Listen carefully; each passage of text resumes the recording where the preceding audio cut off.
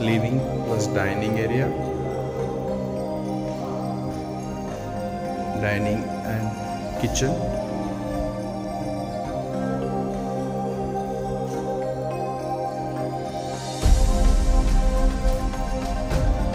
Both the bedrooms.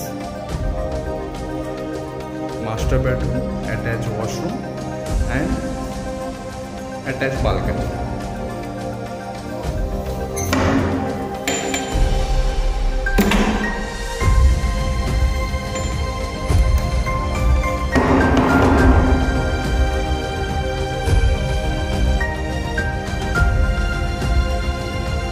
one bedroom